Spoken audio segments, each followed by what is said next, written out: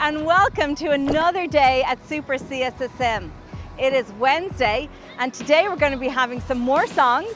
We're going to be listening to another interview, and are you looking forward to another story from Ken? Yeah! Today in our Bible story, we're going to be hearing about Moses.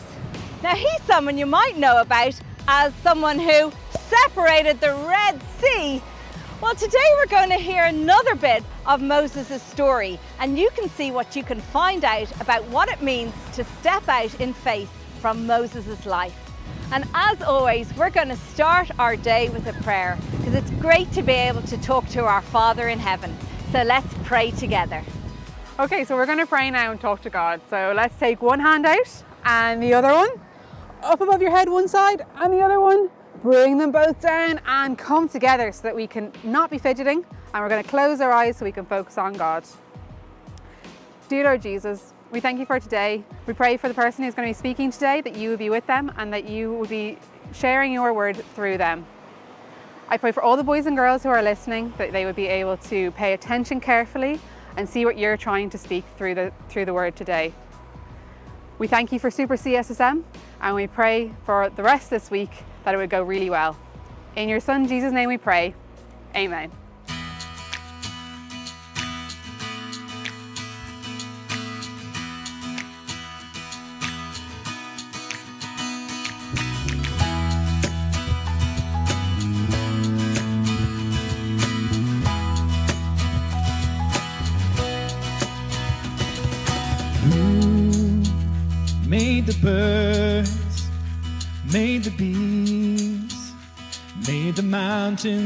Who paints the dawn, hangs the stars, and takes my sin and makes it gone? Who is wiser? Who is stronger? Who has the power? And who is the king?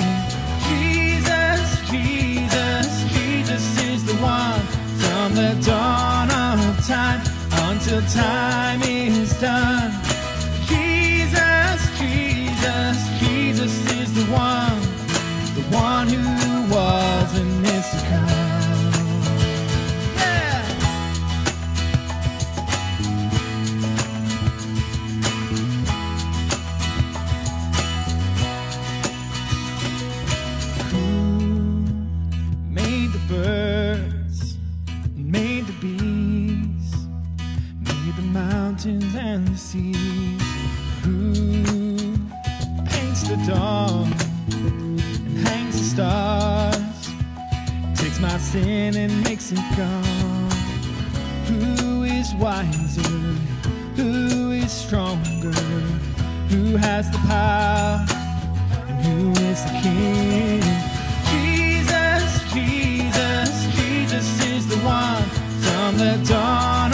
Time until time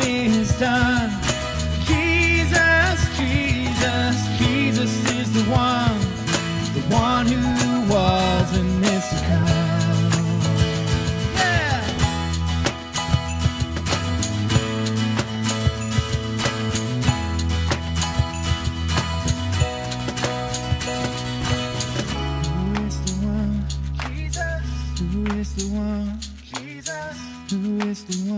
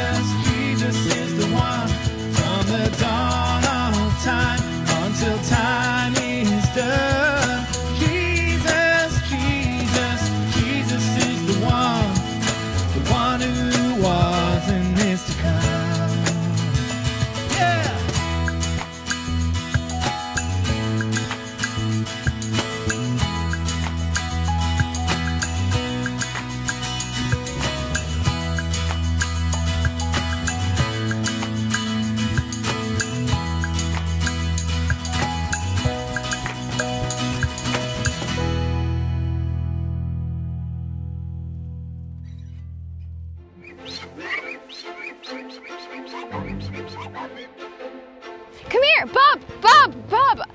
Are, you- are you sure it's him? Yes, definitely. We have an exclusive report right here. Moses is back.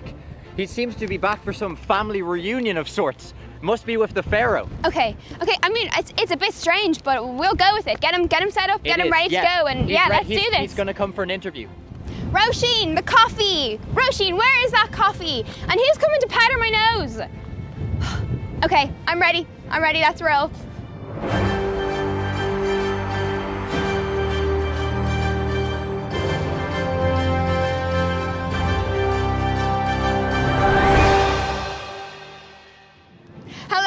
Welcome to Good Morning Cairo. We are here live from our studios right beside Pharaoh's pyramids, and boy, do we have an exclusive for you today. We have found the one and only Prince Moses.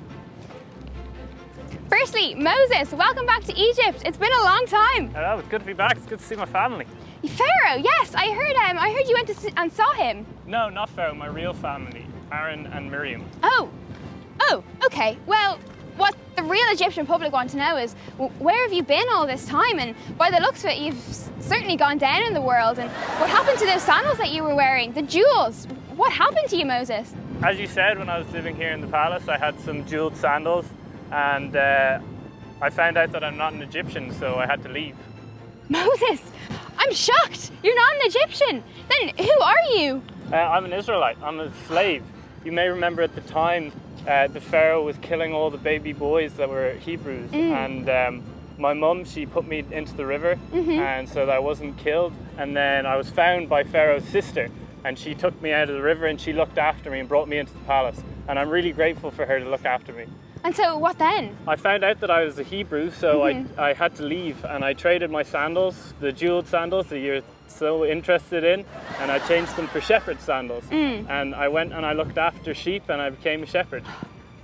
A shepherd. And so you ran away. Yeah, I had to run away because I had to change things. The, the people here weren't being treated right, but I, I didn't go about changing things in the right way, so I had to run away. And where did you run to? Uh, I ran to Midian and looked after the sheep there. Uh, I met my wife there and I met God there. God, wow. So a prince of Egypt, the prince of Egypt, ladies and gentlemen, is now looking after sheep. I can't believe it. I can't believe it. What a come down. And wait, sorry, did you say you found God there? Or. God found you? God of Abraham and Isaac and Jacob. And he actually, when I met him, he was really interested in these sandals that you're so interested in as well. He told me to take them off when I was meeting him because the ground was holy because God is holy. So let me get this straight. He asked you to take your sandals off. And did he say anything else to you? Yes, God said that he heard the cries of his people and that I had to come and tell Pharaoh to let his people go. Okay, and to clarify, so you came back not not to ask for your place back in the palace, to not to ask the pharaoh back for your royalty here in Egypt, but you came to tell him to let the Israelites go, to to let the people that do everything around here go, to leave Egypt? Yes, Right. But why? Why? Why would you give up those sandals? Why would you give up your prince title? Why would you give up all these great things that Egypt can offer you? And to make Pharaoh mad, would you not prefer for him to be your brother again, to have your family back? I can see how you could see that looking at it with your Egypt only eyes. I, I've met God, the true living God, and He asked me to step out in faith and to trust Him. And then it might get tricky, but we can trust Him and mm. that God will always keep His promises. And mm. He's promised to look after His people, to give them a land to live in, and He will always keep His promises. Sorry, sorry, Moses. Sorry to cut across you. I think yes, we're getting some breaking news. And what's going on down there by the Nile? Yes, Siobhan, yes. Hello, Deirdre, Deirdre here. I'm at the Nile. I am I am in denial because I have just heard, just heard that Pharaoh has taken away the Israelites' straw.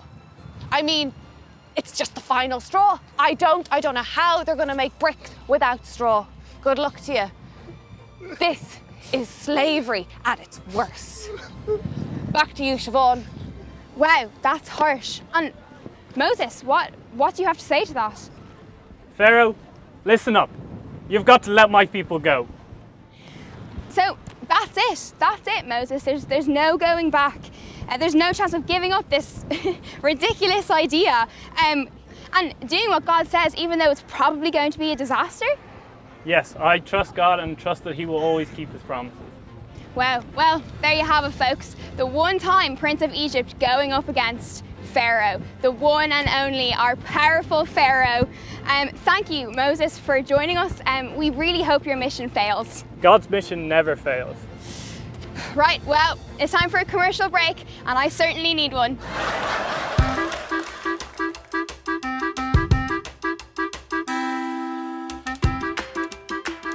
It's quiz time. I love a good quiz, and this one's gonna be super easy. I'm gonna give you three hints, and you have to guess which Bible character it is, okay? Are you ready? Here we go. Number one, this person was saved by someone who wasn't his mother, okay? Number two, this person was rescued by being floated down a river in a basket. That's a bit easy, wasn't it? No, no, it's fine. Number three, this person used a staff to split the sea and he walked through on dry land. Have you got it yet? That's right, it's Moses. Now, the Bible talks all about Moses in the Old Testament. He was kind of a big deal. You see, in the Bible, God had his very own nation, and they were called Israel. You see, it all started with a promise to a guy called Abraham. Abraham had sons and daughters, and they had sons and daughters, and it went on like that for years and years until there was loads of them, like a whole country full of them. But the Bible tells us that this nation became slaves in a country called Egypt, and the king of Egypt made them build all his cities and his statues. And every day, the people of Israel would cry out to God to deliver them. There's actually a really good movie about it on Netflix. but this is where Moses comes in. You see, Moses would be the one who God would use to set his people free. But like most things in life, it got a bit complicated. Moses was born to Israelite parents. Now, this was bad enough back then because it meant that he was now a slave. But in the time that Moses was born, the king of Egypt made a law that every Israelite baby boy born must be killed. So, to save him, Moses' parents put him in a basket and floated him down the river. Risky, I know, but desperate times call for desperate measures. But as luck would have it, Moses floated right into the palace and up to the daughter of the king of Egypt. Moses would be raised in the palace. He was now the adopted grandson of the most powerful man in the world at that time, and he would have everything he ever needed. He would have pizza on demand. He could stay up as late as he wanted. He would be set for life.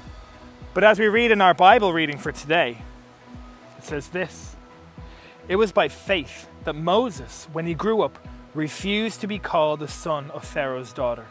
He chose to share the oppression of God's people instead of enjoying the fleeting pleasures of sin. He thought that it was better to suffer for the sake of Christ than to own the treasures of Egypt, for he was looking ahead to his great reward.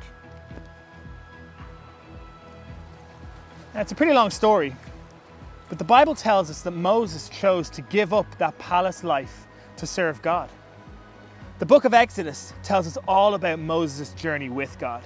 He wandered in the desert for 40 years. He had to fight so many battles and wars along the way. So, why would someone give up being a prince, living in a palace, to live in a desert, to lead an ungrateful people to a strange new land?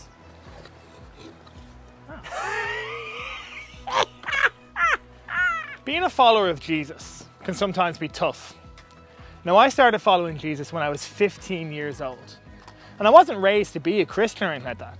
But I found myself at a summer camp because a girl I fancied was going to be there. And even though I wasn't into all that Christian stuff, by the end of the camp I had seen the love of God so clearly and seen that His way of life was so much better that I decided to give my whole life to Jesus. And I got the girl. but I then faced the challenge of going home and explaining to my friends what had happened to me over the summer. I was made fun of a lot by my friends and other kids back then. They called me God Boy and Bible Thumper. But I loved reading the Bible, and I was super passionate about reading it every day. I would even bring my Bible to school so I could read it at breaks or if we had a free class. Now, this led to the other kids calling me Bible Boy. Not that original, I know, but bullies are very rarely the most creative bunch. Now, I have to admit, my first few months of school were tough after my experiences at summer camp. But I soon found a new community in my local church, and I started going to a youth group and spending my time with teenagers who took their faith as seriously as I did. But there was always a temptation to hide my faith when I was at school. But the more I stayed true to who I really was, the more people respected me. People soon stopped making fun of me. And they would even ask me questions about what I believed in or about the Bible.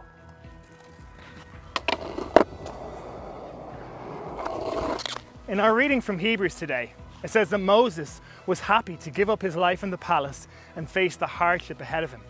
He could do this because he had his eyes set on the prize. He knew that a life with God was far better than a life of luxury in the palace. And it makes me think of Jesus, who was happy to give up his home in heaven, to face hardship for us because he loved us and wanted to be with us. Let's pray.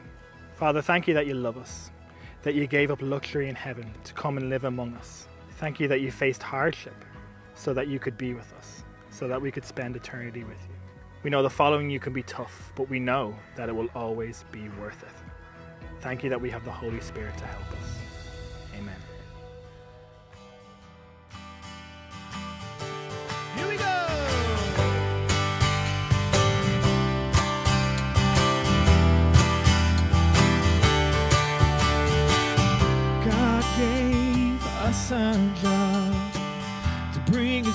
To the lost and blinded.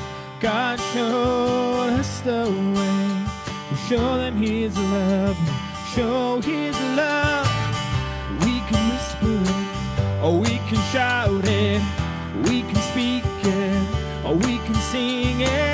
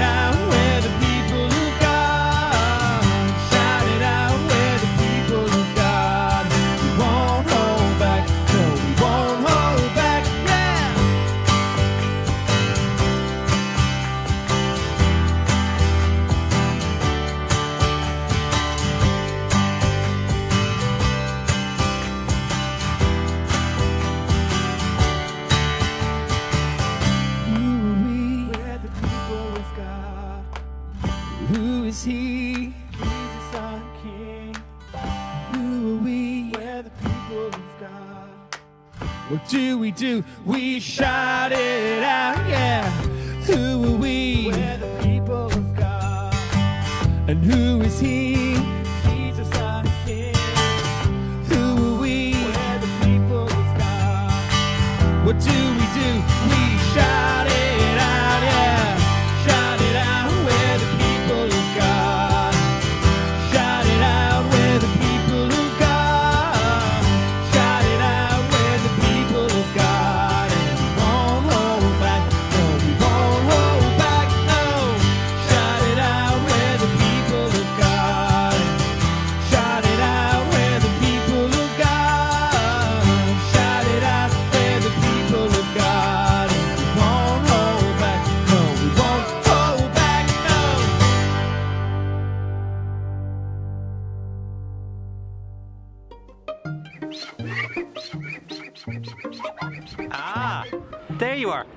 just never know when you go on a journey where God is going to take you. Today's story is about a young Irishman who went out through this beautiful harbour here. He didn't know it at the time, but his journey was going to take him to New Zealand and to India and to parts of Africa. And God was going to use him to start a really important work that would change the world. And that work is still going on today. A young man called Wellesley Bailey kissed his girlfriend Alice goodbye and stepped onto the ship in Dún Laoghaire Harbour. He couldn't have known that God was going to use this journey to change his life and the lives of millions of other people. Wellesley stopped in England on his great big journey to New Zealand. He had promised Alice that wherever he was in the world, he would go to church on Sundays. It was Sunday, so he put on his best shoes and his best clothes and headed off to church. That Sunday was special for him. As he listened to the preacher, he understood for the very first time about Jesus and all that he did so that we could be part of God's family. Right there, Wellesley decided to follow Jesus and promised that wherever he found himself in the world, he would do whatever Jesus needed him to do. Wellesley continued his journey to New Zealand. After all, he was going there to pan for gold and to get rich. But he didn't find any gold, and he had to come home.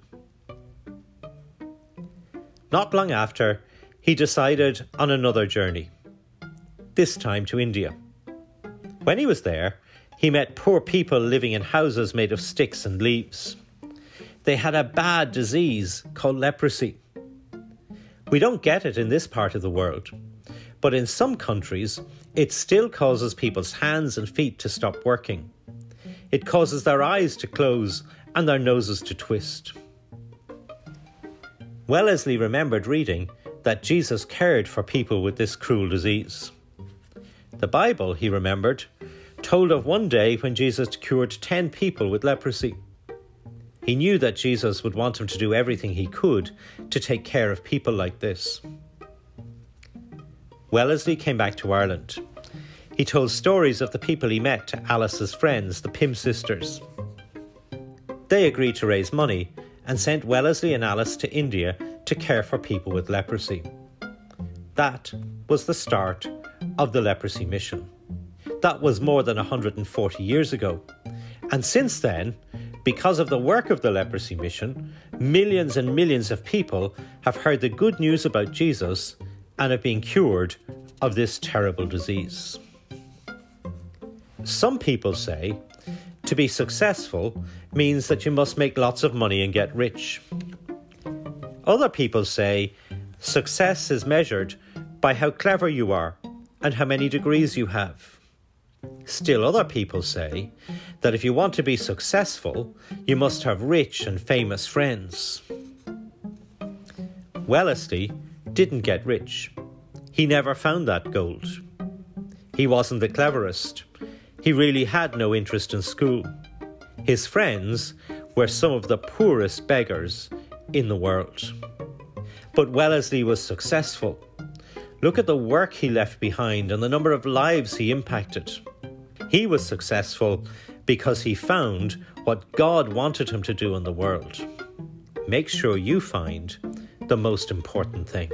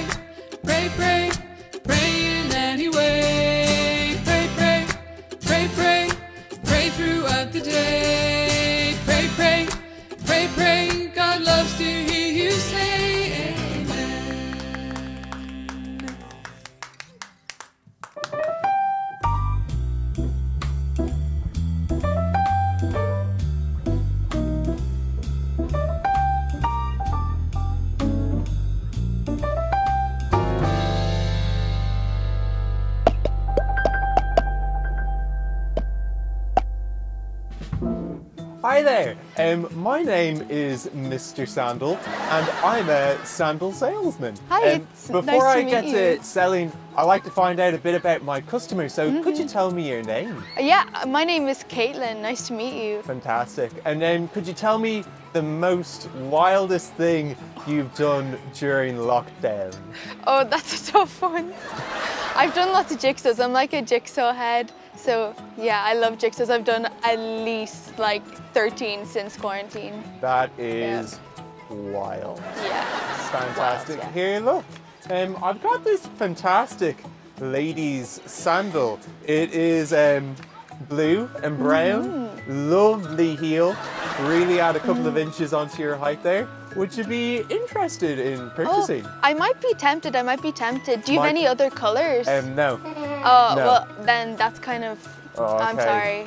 All right, Yeah. well, look, I'll try later. But I see you've got a pair of shoes there. Yeah, I do. Slippers. Could you tell me a bit about them? Yeah, these are my favorite shoes actually. Oh. Yeah, I, they're very warm and cozy. I got them for my birthday.